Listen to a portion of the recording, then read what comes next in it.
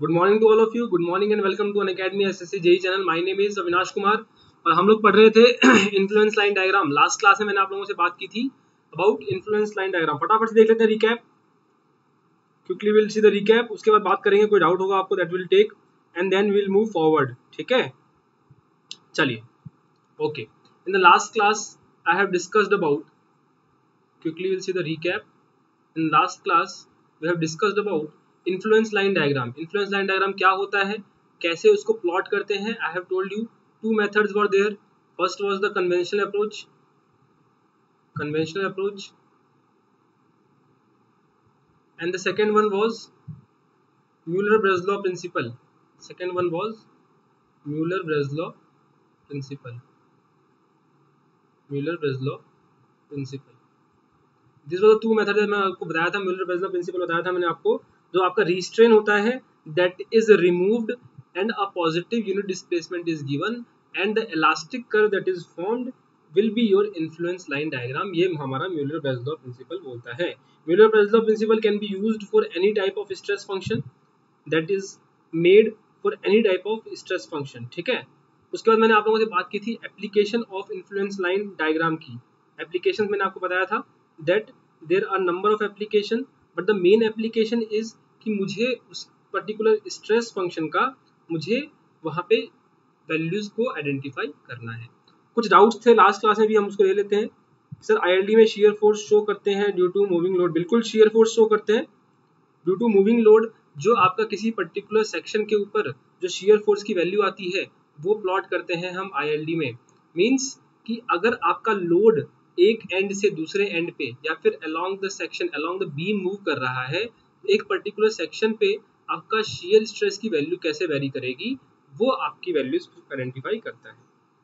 Shear force वाला फिर से बता दीजिए। शियर फोर्स वाला डिस्कस कर लेते हैं। हर्ष पूछ रहे थे डाउट एक बार शियर फोर्स वाला डाउट डिस्कस कर लेते हैं and then we will move forward I have told you कि आपके पास इस तरीके से सिंपली सपोर्टेड बीम है। और ये सेक्शन है आपका कोई, जहाँ आपको वेरिएशन ऑफ़ shear फोर्स निकालना है when a unit load is moving along the beam एक यूनिट लोड आपका मूव कर रहा है along the beam now when the load is at some distance x from one end when it is x distance from one end, suppose this is a, this is b. अब एक and से for example x distance पे है. मुझे मान लीजिए कि ये c c पॉइंट पे मुझे शेयर फोर्स वेरिएशन निकालना है. क्या करना पड़ेगा? सबसे पहले मैं क्या करूँगा? रिएक्शन निकाल लूँगा। तो रिएक्शन मैंने कल कैलकुलेट किए थे that was 1 minus x by L and at B it is x by L these are two values now at at point C at section C one I consider first case suppose load is between load is between A and C A and C के बीच में आपका load है। अगर मैं shear force की बात करूँ तो शेयर फोर्स का मतलब क्या था? कि that it is the summation of all transverse forces acting इधर टू द लेफ़्ट और to the right of the section अब मैं इसके राइट right में चेक करूँ अगर तो मेरे पास एक रिएक्शन है R B and that is equals to x by L and the direction is upward section के राइट right में अपवर्ड मीन्स शेयर फोर्स क्या हो जाएगा? Shear force will be negative means जब मेरा लोड ए से सी के बीच में है, your shear force will be minus x by L. Second case is when load is between C and B. Now, आपका लोड यहाँ से मूव होके यहाँ पहुँच गया कहीं पे। इट मूव हेयर नाउ जब आपका लोड यहाँ पे पहुँच गया in that case there is no load present between A and C A और सी के बीच में कोई भी लोड प्रेजेंट नहीं है। मीन्स क्या होगा? तो रिएक्शन होगा R A that will be equal to one minus x by L that is equal to shear force that is the only transverse force between A and C and that is acting upward section के left में upward shear force that means positive तो मतलब one minus x by L आपका इस तरीके से positive आ गया। इसका मतलब ये हुआ कि जब मेरा लोड ए से सी के बीच में है तो minus x by L variation है। जब मेरा लोड सी से बी के बीच में है one minus x by L है वेरिएशन अब मैं क्या करूँगा? अब मैं इसको प्लॉट कर दूँगा। When your load is between a and c is linear and that is equal to x by L यहाँ पे आपका एक सडन चेंज आएगा। और इस तरीके से आपका shear force वेरी कर जाएगा at this particular section this is the I ILD for shear force. This is the ILD for shear force. तो आई होप ये पॉइंट क्लियर होगा। आई होप ये पॉइंट क्लियर हो गया होगा। आगे मूव करते हैं इससे आगे। Before starting next point that is that is of doing questions मैंने आप लोगों से बोला था that today we'll do some questions based on influence line diagram before starting that, let me introduce myself my name is avinash kumar and i have secured all india rank 4 in ssc je 2017 and I have secured all India rank of 225 in GATE 2017. इसके अलावा two times ESC mains qualified and I am BTech from NIT Jaipur. From last two years I have been guiding for all the technical exams and the subjects that I am mainly dealing is strength of material, RCC, structure, transportation and soil mechanics. This is the personalized code I have.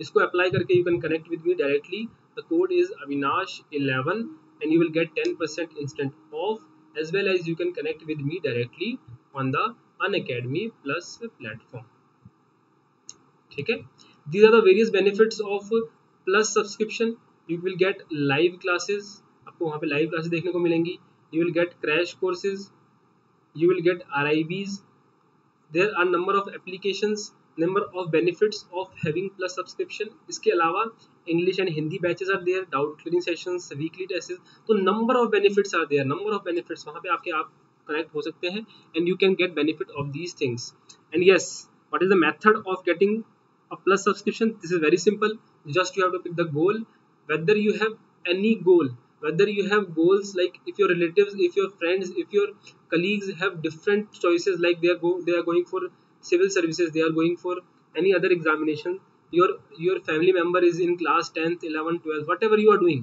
there are number of courses available on the plus platform you can go through them and you just pick the goal click on get subscription click the time period you are going for for gate esc and ssc i will prefer that you should go for 12 months or 24 months that is very helpful a complete package will be there आपको test series Interview session mains classes mains is very important अगर आप SSC की तैयारी कर रहे हैं तो mains बहुत इंपॉर्टेंट है। उसकी बात करूँगा मैं आफ्टर प्रीलिम्स एग्जामिनेशन ठीक है? तो प्रीलिम्स आपका क्वालिफाई करना इज़ द फ़र्स्ट क्राइटेरिया उसको क्वालिफाई करने के बाद मेंस वो क्राइटेरिया है जिसमें आपका सिलेक्शन ही नहीं, आपकी रैंक डिसाइड होती है। उसकी बात करेंगे, जब हम मेंस की बात करेंगे मेंस के कन्वेंशनल क्वेश्चन डिस्कस करेंगे, तब हम उसकी बात करेंगे। But for that you you can go for 12 months और 24 months also you can use this code avinash 11 and you will get 10% instant off and you can connect with me directly. Various payment methods are there. Credit card debit card emi options also there. yahan pe aap dekh sakte hain in this section. I have shown emi options and this is the code you can apply avinash 11 and you will get a heavy discount. And this is the telegram page that i am having and there you will get all the pdfs all the content you will get here and you can connect at this thing. चलिए। शुरू करते हैं। Today we'll discuss few questions and then we will move forward कल मैंने बात कर ली थी एप्लीकेशंस की मैक्सिमम स्ट्रेस फ़ंक्शन कैसे कैलकुलेट करना है रिएक्शन कैसे कैलकुलेट करनी है मैक्सिमम मैक्सिमम शियर फोर्स कैसे कैलकुलेट करना है मैक्सिमम मोमेंट कैसे कैलकुलेट करना है that I have given you मैंने आपको उसका बताया था पूरा content in the yesterday's class आज हम शुरू करते हैं questions question number one is ध्यान दीजिएगा some good question are there ठीक है, उसको प्रैक्टिस कर सकते हैं for the continuous beam shown in the figure is the influence line diagram for support reaction at D is best represented by अब मुझसे पूछा है कि D पे मुझे रिएक्शन के लिए मुझे ILD प्लॉट करना है ILD for reaction at D ILD for reaction at D means मुझे क्या करना पड़ेगा? मुझे अगर म्यूलर ब्रेसलॉ प्रिंसिपल लगाना है तो what I have to do I have to remove the restrain and provide a unit displacement in the positive direction for displacement the positive direction is upwards क्या करूँगा मैं? What I do is I provide a unit displacement at D in the upward direction मैंने क्या किया? मैंने एक upward direction में unit displacement यहाँ पे प्रोवाइड कर दिया मान लीजिए यूनिट डिस्प्लेसमेंट उसके बाद मेरे पास एक हिंज है। कल मैंने आपको एक इंपॉर्टेंट बात बताई थी कि हिंज के आगे अगर आपका स्ट्रक्चर इज़ स्टेबल आपका स्ट्रक्चर अगर स्टेबल है तो आपका आई एल डी वहाँ मूव नहीं करेगा। Means in this case your I L D will be something like this यहाँ पे आएगा and your I L D is done your I L D is done your ILD is done. This is the ILD for this is the ILD for reaction at at point B. तो correct answer क्या हो गया? Correct answer will be option C correct answer will be option C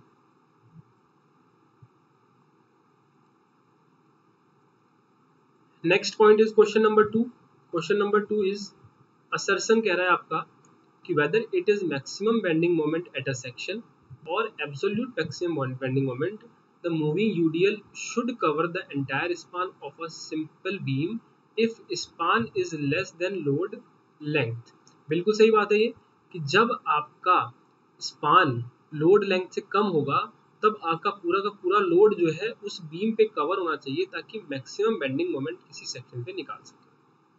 अब ये possible नहीं है कि आपका लोड उस बीम पे आया ही नहीं and then there will be maximum bending moment तो आपको पूरा का पूरा लोड उसके ऊपर डालना पड़ेगा जितनी भी स्पान है उस बीम की, और आपको मैक्सिमम बेंडिंग मोमेंट कैलकुलेट करना पड़ेगा। रीजन क्या बोला देखिए, कि whether it is maximum bending moment at a section और absolute maximum bending moment the moving UDL should be divided by the section in the same ratio in which the section divides the span if span is greater than load length. बिल्कुल सही बात है ये। कल की class में मैंने discuss भी किया था आप लोगों से कि अगर आपके पास यूडीएल है, जिसकी लेंथ आपके स्पान की लेंथ से कम है, किसी सेक्शन पे बेंडिंग मोमेंट निकालने के लिए आपको यूडीएल को इस तरीके से प्लेस करना पड़ेगा कि वो सेक्शन जो है, उस यूडीएल को उसी रेशियो में डिवाइड करे, जिस रेशियो में सेक्शन जो है, वो उस स्पान को डिवाइड कर रहा है। That is A dash by A equal to B dash by B मैंने कल की क्लास में डिस्कस किया था।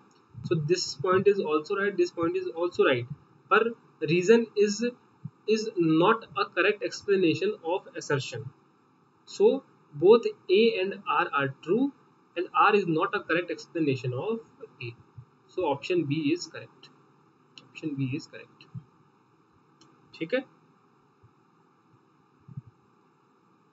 चलिए the maximum bending moment at the left quarter point of a simple beam due to crossing of a UDL of length shorter than the span in the direction left to right would occur after the load had just crossed the section by अब देखिए क्या बोल रहा है कि हमारे पास एक सिंपली सपोर्टेड बीम है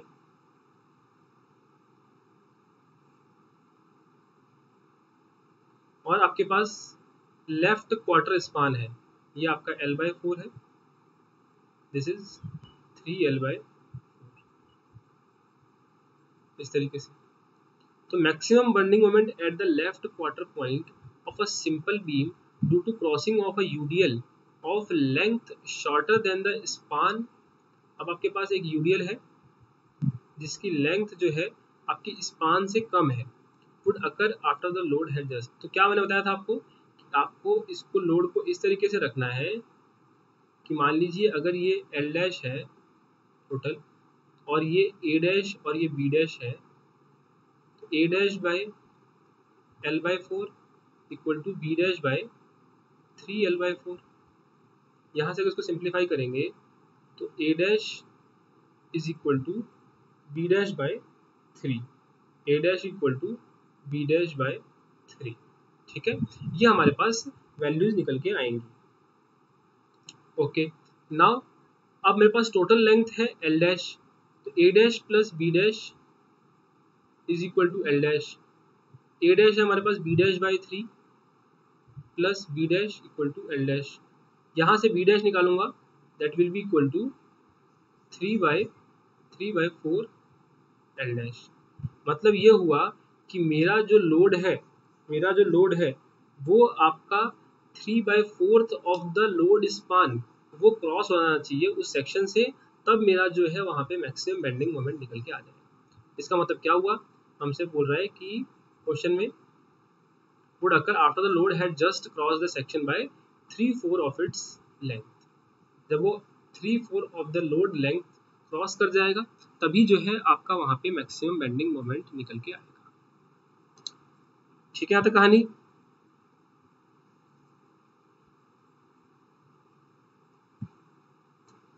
ओके चलिए।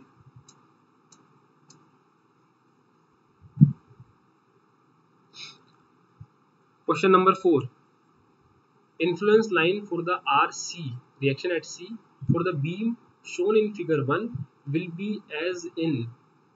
Okay okay, हमसे बोल रहा है रिएक्शन एट सी के लिए इन्फ्लुएंस लाइन डायग्राम अब देखिए सबसे पहले क्या करना है मुझे? जैसे मैंने आपको बताया था but I have to do first of all is I have to remove the restrain that is provided by reaction at C ठीक है? तो मैंने क्या किया? रिस्ट्रेन को रिमूव कर दिया और एक यूनिट डिस्प्लेसमेंट प्रोवाइड कर दिया इन द पॉजिटिव डायरेक्शन इस तरीके से मैंने यूनिट डिस्प्लेसमेंट प्रोवाइड कर दिया। नाउ अब मेरे पास लेफ़्ट साइड में देखूँ अगर मैं तो हिंज है। तो हिंज के आगे वाला स्ट्रक्चर मतलब ये स्ट्रक्चर ए और बी के बीच में, क्या है ये? This is a unstable structure ये एक अनस्टेबल स्ट्रक्चर है। मीन्स क्या होगा कि आपका आई एल डी यहाँ भी मूव करेगा। इन दैट केस आपका हिंज क्या होगा? हिंज विल मूव अपवर्ड्स आपका यहाँ पे कहीं पे आएगा और आपका इस तरीके से वेरिएशन आएगा। एंड कंडीशन को ध्यान में रखते हुए। उसके बाद उसके बाद जो आपका यहाँ पे सी से डी के बीच में आप देखेंगे अगर तो डी पॉइंट पे आपके पास एक सपोर्ट है। मींस डी पॉइंट पे आपका जो है लाइन स्ट्रेट लाइन आएगा और उसके बाद आपका जो फ्रीली मूव करता हुआ फ्री एंड पे इस तरीके से पहुँच जाएगा। इस तरीके से आपका यहाँ पे जो है आई एल डी निकल के आएगा। So this value is one this value is one and this value is one point five और ये वैल्यू भी आपकी क्या आ जाएगी? This value will be also be one तो आपका करेक्ट आंसर आ जाएगा option B option B will be the correct influence line next question is question number five question number five क्या बोल रहा है आपका? देखिए. Question number five is for the beam shown in figure the influence line diagram is shown in figure two refers to okay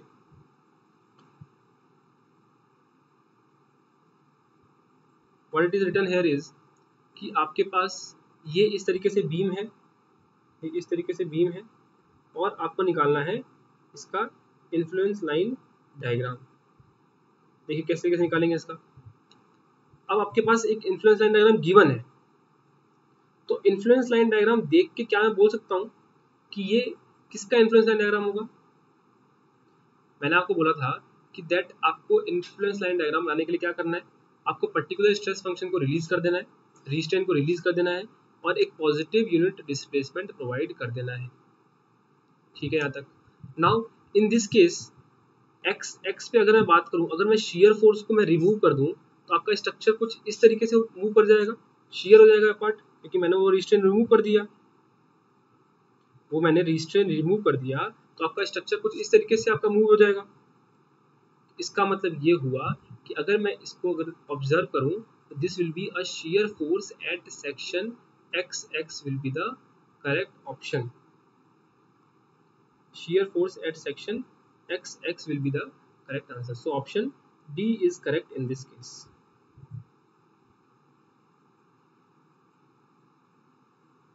ठीक है, यहाँ तक? ओके। चलिए।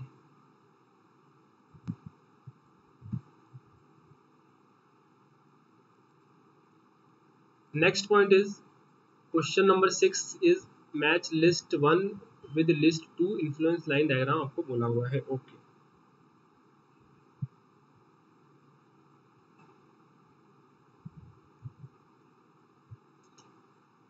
now, in this case beam with influence line for the bending moment.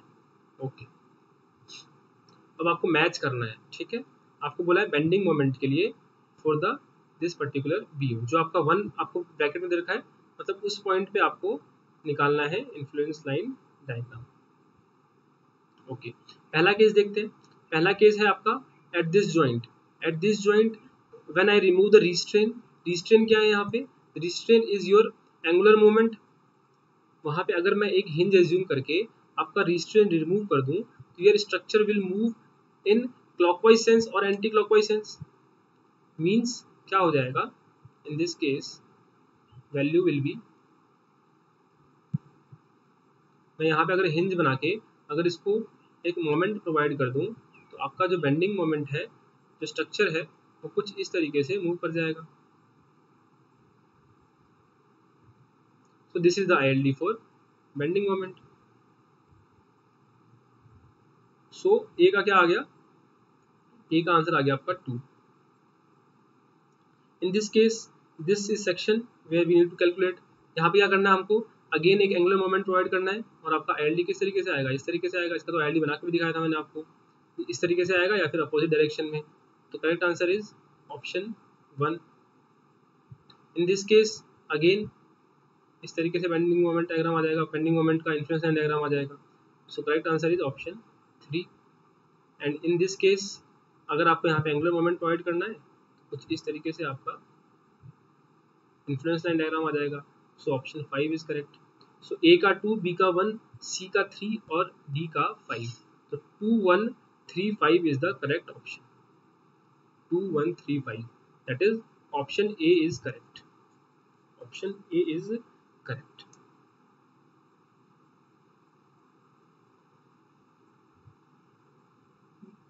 ठीक है यहाँ तक चलिए question number seven is question number seven is the given figures show a beam with its influence line for shear force and bending moment in section one ठीक है the value of shear force and bending moment at section one due to concentrated load of twenty kilometre placed at mid span is. ठीक है? In this case, when 20 kilonewton is placed at mid span, यहाँ पे कहीं आपका 20 kilometre है, तब क्या करना है मुझे? मुझे शेयर फोर्स और बेंडिंग मोमेंट का मुझे वैल्यू आइडेंटिफाई करना है। इन दिस केस ये जो ऑर्डिनेट्स हैं दीज ऑर्डिनेट्स इसको हमको कैलकुलेट करना पड़ेगा। ठीक है? और जो मेरा लोड है, उसको इस ऑर्डिनेट से मल्टीप्लाई कर दूँगा और मेरा वैल्यू ऑफ़ शेयर फोर्स और बेंडिंग मोमेंट निकल के आ जाएगा at section one when load is placed at the mid span now this total distance is 12 metres तो ये आपका कितना हो जाएगा? This will be half will be 6 metres and this half will be six metres इस तरीके से। Now this ordinate will be equal to अगर मैं ये ऑर्डिनेट निकालूं B point seven five divide by nine into six ये ordinate आ जाएगा आपका। इसको सिंप्लीफाई करेंगे। देखिए कितना आ गया। दिस इज़ थ्री टू ये this is three three point two five this is point five और यहाँ पे जो आपको ऑर्डिनेट आएगा this will be equal to two point two five divide by nine into six and this will be equal to three two three three this is point seven is जो आपकी value आ गई this is one point five this is point five अब मुझे ordinate से multiply कर देना है लोड को तो shear force will be equal to twenty into point is equals to 10 kilonewtons. And bending moment is equals to 1.5 into 20 that is equals to 30 kilonewton meter. So shear force will be 10 kilonewton and bending moment will be 30 kilonewton meter the option d is correct option ठीक है चलिए question number eight is question number eight is Mueller-Breslau principle is applicable to get influence line for which one of the following? Mueller-Breslau principle किसके लिए use होता है आपका reaction at the ends of the simple beam bending moment at a section shear force at a section तो सब कुछ के लिए यूज़ होता है। तो करेक्ट आंसर क्या हो जाएगा? Force and moment at any section किसी भी सेक्शन पे आपको फोर्स किसी भी सेक्शन पे आपको मोमेंट कैलकुलेट करना हो, you can use Mueller Breslau principle. You can use Mueller Breslau principle. ठीक है? Question number nine what is the area of influence line diagram for the reaction at hinged part of a uniform propped cantilever beam of span L आपको निकालना है area of the influence line diagram of a propped cantilever beam इस तरीके से आपके पास propped cantilever beam है। ठीक है? अब देखिए, अब इस केस के अंदर मान लीजिए कि मेरे पास एक यूनिट लोड है at a distance x from the propped end और दूसरे एंड से कितना हो जाएगा? This will be L minus x this will be L minus x अब मुझे क्या करना पड़ेगा? मुझे निकालना है फॉर द रिएक्शन मतलब जो ये रिएक्शन आएगा, उसके लिए मुझे निकालना है इन्फ्लुएंस लाइन डायग्राम मतलब मैं इस रिएक्शन की वैल्यू अगर कैलकुलेट कर लूँ तो I can calculate the value of influence line diagram अब मुद्दा ये है कि अभी रिएक्शन कैसे कैलकुलेट होगा? क्योंकि ये स्ट्रक्चर मेरा क्या है? स्टैटिकली इनडिटर्मिनेट है क्या? क्योंकि प्रॉप्ड कैंटिलीवर क्या होता है? स्टैटिकली इनडिटर्मिनेट होता है। Now what will the values अब देखिए, अब क्या करूँगा? यहाँ पे मैं मेथड ऑफ़ सुपरपोजिशन लगाऊँगा for the calculation of reaction तो मैं इसको क्या बोल सकता हूँ? This will be equivalent to two beams like this एक में यूनिट लोड लग रहा है प्लस दूसरे में कैंटिलीवर पे रिएक्शन लग रहा है। This is distance x, this is l minus x. These are the values. Suppose ये point b है आपका. This is point b. This is point a. ठीक है? नाउ यहाँ पे कंपेटिबिलिटी कंडीशन अगर हम देखें सपोज़ इसकी वजह से displacement at point B is delta one और यहाँ पे जो है displacement at point B is delta two so I can say delta one plus delta two is equal to zero क्योंकि वहाँ पे आपका क्या है, एक सपोर्ट रिएक्शन है। उसकी वजह से क्या होगा total displacement will be equal to zero now अब ये कैसे निकालें अब? फ़र्स्ट ऑफ़ ऑल इस पॉइंट लोड की वजह से डिस्प्लेसमेंट कैलकुलेट करना पड़ेगा। तो delta one is equals to P L cube divide by three E I first of all P into L cube L minus x का cube divide by three E I plus P into L square L minus x का square divide by two E I slope into length L this will be equal to delta 2 delta 2 is rl cube divided by 3 e यहाँ से simplify करेंगे तो मेरे पास reaction की एक value निकल के आएगी। रिएक्शन की एक वैल्यू निकल के आएगी that will be equal to L minus x का whole cube divide by three plus P x into L minus x का whole square divide by two and the whole divide by L cube by three ये आपकी reaction की value निकल के आ गई। This is the value of reaction this is the value of reaction अब मेरे पास रिएक्शन की वैल्यू निकल के आ गई। तो ये हमको क्या करना पड़ेगा? प्लॉट करना पड़ेगा। इसको हमको प्लॉट करना पड़ेगा। Now when x is equal to zero जब मेरा x ज़ीरो है तो वैल्यू ऑफ़ r कितना है देखिए। Value of r will be equal to L cube by three plus p is p is one यहाँ वन पुट करना है प्लस x इज़ ज़ीरो तो ज़ीरो हो गया divide by L cube by three this is equal to one तो जो आपका variation आया तो जो आपका वेरिएशन आया, वो कुछ इस तरीके से आएगा। Here it is 1 when x is equals to l, this will be 0 this will be 0 यहाँ पे 0 है। तो आपका जो वेरिएशन आएगा, वो कुछ इस तरीके से आ गया। कुछ इस तरीके से आ गया। अब हमको बोला है to calculate area of this influence line diagram मुझे इस इन्फ्लुएंस लाइन डायग्राम का एरिया कैलकुलेट करना है। ठीक है? This is unit this is length l. This is length L अब क्या करेंगे इसको? मुझे क्या करना पड़ेगा? मुझे इस रिएक्शन आर को this is variation with x मुझे इसको इंटीग्रेट करना पड़ेगा ज़ीरो से एल के बीच में। ज़ीरो से एल के बीच में इसको इंटीग्रेट करेंगे तो you will get this values and this you calculate this value क्योंकि आप इस स्ट्रेस फ़ंक्शन को ज़ीरो से एल के बीच में अगर इंटीग्रेट कर लेंगे you will get this hatched area you will get that you will get this hatched area so जब कैलकुलेट करेंगे you will get the solution and the answer will be L by four इसको integrate कर लेंगे और आपका value निकल जाएगी कुछ नहीं करना है। Just have to integrate L minus x का whole cube divide by three plus x into L minus x का whole square divide by two divide by L cube by three zero से L के बीच। इसको integrate कर लेंगे and you will get the answer this is the most typical question that can be asked for the calculation of influence line diagram for the statically indeterminate structures. Indeterminate question generally आता नहीं है but this is the most typical question that can be asked ठीक है you can star mark this question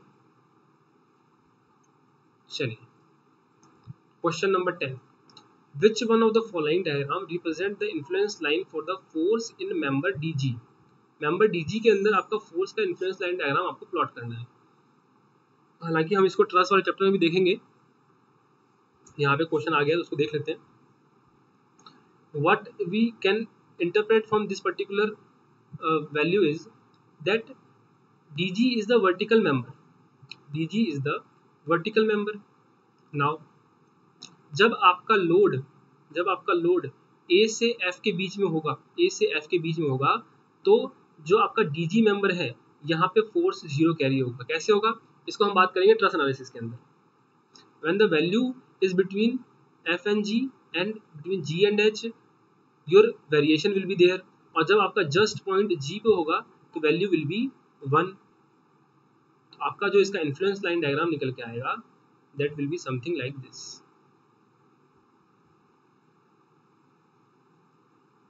इसके अलावा आपकी सारी values क्या होंगी? Will be equal to zero this is value one and this is the I L D four force in member दीजिए तो correct answer is option D correct answer is option D चलिए question number eleven a statically determinate structure चार option है cannot be analyse without the correct knowledge of model of elasticity ऐसा कुछ नहीं होता है. Must necessarily have roller support at one of its end ये भी गलत है. Requires only statically statical equation for its analysis बिल्कुल सही बात है. यहाँ पे आपका स्टैटिकली डिटरमिनेट स्ट्रक्चर का मतलब यही होता है कि आप स्टैटिक इक्विलिब्रियम इक्वेशंस को यूज़ करके you can analyse that particular structure what is the statically indeterminacy of the particular, this particular frame? तो सिंपल क्या करना है? हमको ds निकालना है। That is equals to 3m plus r minus 3j minus R R M निकाल लेंगे are निकाल लेंगे जे निकाल लेंगे और आर आर निकाल लेंगे। Is two two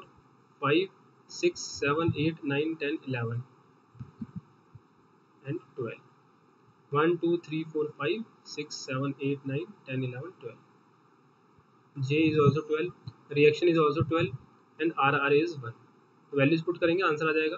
Thirty six plus twelve minus thirty six minus 1 so this will be equal to 12 minus 1 that is equals to 11 ds is equals to 11 that is option c is correct ठीक है question आगे था determinacy का in the middle of this particular okay next question is which one of the following statement is correct the influence line diagram for the bending moment at a section is a cantilever in triangle extending between the section and the influence line diagram for the cantilever अभी मैंने बात की थी cantilever के लिए influence line diagram जो है वो कुछ इस तरीके से आएगा। Triangle with zero at fixed end and maximum at the free end तो fixed end with maximum ordinate गलत। Fixed end with maximum ordinate unsupported end with maximum ordinate at the section बिल्कुल सही है। Unsupported end with maximum ordinate at the unsupported end ठीक है? चलिए this is the correct answer question number 14 क्या बोल रहा है? देखिए which of the following is correct in respect of influence line for the bending moment at one fourth of the span from left support of a prismatic beam simply supported at ends हमसे पूछा है influence line for the bending moment तो influence line for the bending moment very easy आपके पास एक simply supported beam है। One fourth of the span from the left support. This is L by 4. This is 3L by 4. It is composed of straight lines only. बिल्कुल सही है ये बात तो। It compose of curve line curve line नहीं होगा। आपका determinate structure है। It is compose of straight line and curve line it is parabolic correct answer is option A आपको नहीं भी पता है इसका इन्फ्लुएंस लाइन डायग्राम तो यू जस्ट रिमेंबर कि for determinate structures value of influence line diagram will be a straight line और जिसकी वैल्यू यहाँ पे क्या हो जाएगी? Maximum ordinate will be equal to A B by L A B by L चलिए next question is what is the shape of the influence line diagram influence line diagram for the maximum bending moment in respect of simply supported beam simply supported beam के लिए maximum bending moment in respect of simply supported beam ठीक है? आपसे पूछा है कि maximum bending moment का influence line diagram कैसे निकल के आएगा? मैक्सिमम बेंडिंग मोमेंट का इन्फ्लुएंस लाइन डायग्राम आपके पास एक सिंपली सपोर्टेड बीम है। सिंपली सपोर्टेड बीम है। और मान लीजिए कि कहीं भी आपके पास यूनिट लोड प्रेजेंट है at a distance x at a distance x जब आपके ऑर्डिनेट्स निकल के आए थे, that was 1 minus x by l, and that is x by l ठीक है? अब आपको निकालना है कि किसी भी सेक्शन के ऊपर मैक्सिमम बेंडिंग मोमेंट कितना आएगा? तो that will be equal to what that will be equal to this is suppose at any distance या फिर आपको निकालना है कि maximum bending moment below this load कितना आएगा?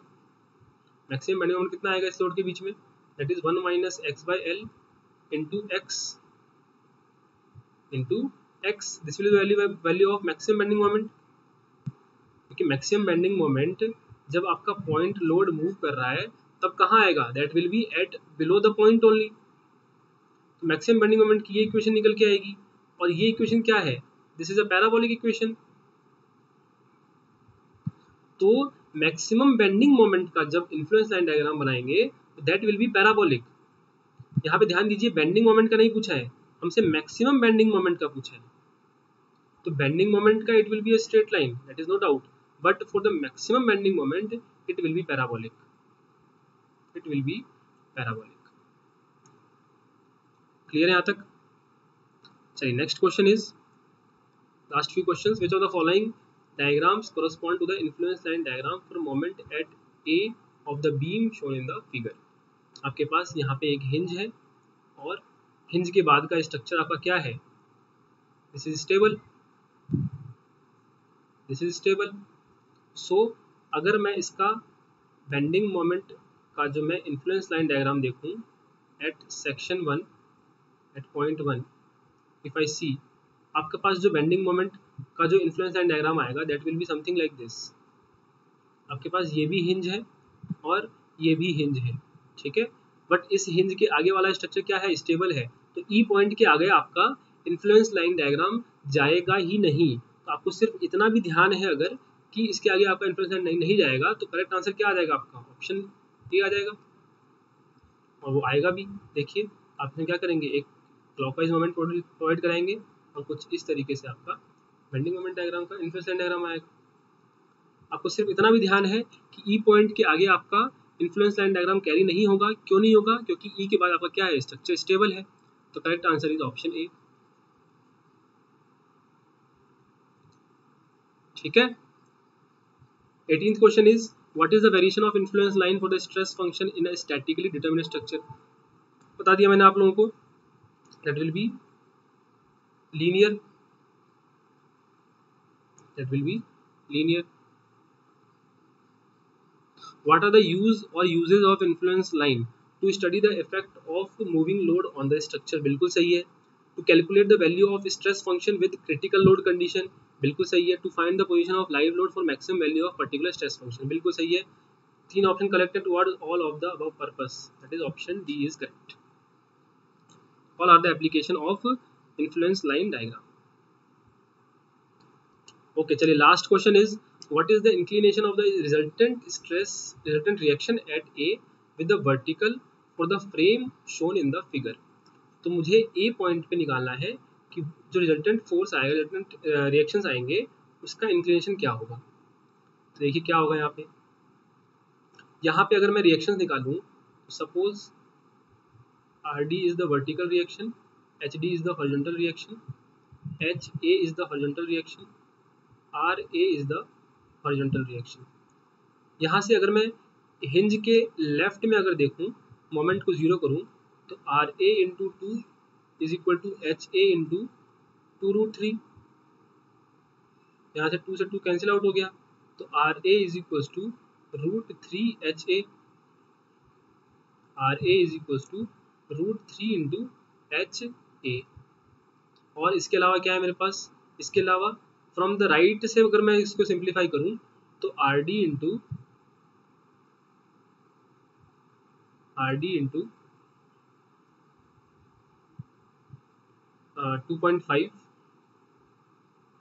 ठीक है this is acting anti clockwise और minus H D into two root three this is acting clockwise and again minus fifty into point five equals to zero ये मेरे पास दूसरी equation आ गई, लेकिन मुझसे पूछा क्या है? मुझसे पूछा है कि inclination of the resultant reaction at A with the vertical load अब आपके पास ए पे बात करूँ मैं। ए पे आपका आपका लग रहा है एक एच ए एक आपका लग रहा है। Reaction R A R A की वैल्यू है root three H A resultant stress की बात करूँ तो कितना हो जाएगा? Under root of three H A square plus H A square that is equals to three H A square plus H A square two H A बन जाएगा। This is equals to two H A और हमसे पूछा है कि what is the inclination of resultant reaction at A with the vertical मुझसे ये angle पूछा है, कितना होगा? ये एंगल पूछा है। तो मेरे पास दोनों ऑर्डिनेट है। यहाँ पे आपका ये रूट थ्री एच ए है और ये आपका टू एच ए है। तो I can say that cos theta is equals to base upon hypotenuse, that is root three H A divide by two H A H A से H A cancel out हो गया। Cos theta is equals to root three by two तो theta क्या आ गया यहाँ पे? Thirty degrees निकल के आ गया। सो रिजल्टेंट का जो एंगल आएगा with the vertical that is equals to thirty degrees thirty degrees this will be the correct answer clear है यहाँ तक? So this is all about influence line diagram इसके हमने नंबर ऑफ़ क्वेश्चंस भी देख लिए. इससे ज़्यादा आपको डिटेल में घुसने की ज़रूरत नहीं है। किसी को कोई दिक्कत यहाँ तक? any problem till now okay चलिए next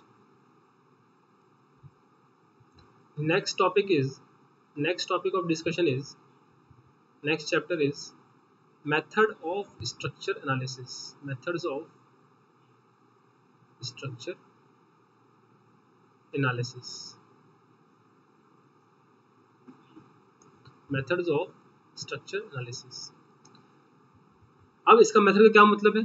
इसका मतलब ये है कि मेरे पास कोई स्ट्रक्चर गिवन है, मुझे उसके सारे रिएक्शन डिस्प्लेसमेंट्स वगैरह कैलकुलेट करने हैं that comes in the methods of structure analysis if you classify this particular chapter this is classified mainly in two parts the first one is the force method of analysis the first one is force method and the second one is displacement method second one is displacement method. अब क्या difference होता है इन दोनों के बीच में, ये समझिए इस चीज़ को? Force method in force method unknowns are forces unknowns are forces in displacement method unknowns are displacement unknowns are displacement in force method in force method we need to consider only when ds is less than dk and this method displacement method is considered only when dk is less than ds उसके बाद बात करें in force method the examples are consistent deformation consistent deformation second is strain energy method. Strain energy method. Three moment equation. Three moment equation. और बहुत सारे method है that is come in the in the in the fourth method of analysis and displacement method की बात करें, इसके examples याद रखिए, बहुत इंपॉर्टेंट है. The first one is slope deflection equation the second one is moment distribution method the third one is Kani's method Kani's method and the fourth fourth one is stiffness matrix method stiffness matrix method इसके बारे में हम कल बात करने वाले हैं। तो आज की क्लास यहीं फिनिश करते हैं। And will meet in the next class और हम कल बात करेंगे। Will start with the displacement method that is slope deflection equation ठीक है and before ending this class please like this video please share with your friends and do subscribe this channel with your and share this video with all of your friends ताकि जो है बाकी लोग भी इसको benefit उठा सकें। कोई भी डाउट हो आपको you can ask me on Telegram this is my Telegram number you can ask me here six three seven eight five six eight nine three five यहाँ पे आप मुझे पिंग करके मुझे वहाँ पे पूछ सकते हैं। चलिए thank you very much for joining have a good day keep revising keep practicing कोई भी दिक्कत हो, मुझे आप पूछ सकते हैं. Take care of your self goodbye